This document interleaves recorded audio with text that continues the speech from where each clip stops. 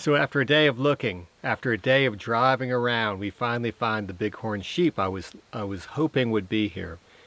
And a question that always comes to my mind when I see figures like these is why sheep? Why are there so many bighorn sheep out in the landscape in the American West?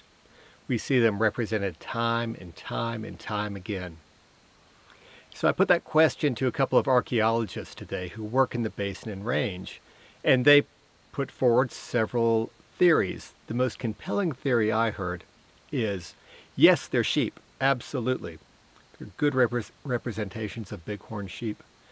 But they're also individuals. They represent individual human beings, individual people. So a thousand, two thousand, five thousand years ago, people on this landscape left images of themselves out here, and we can see them now today.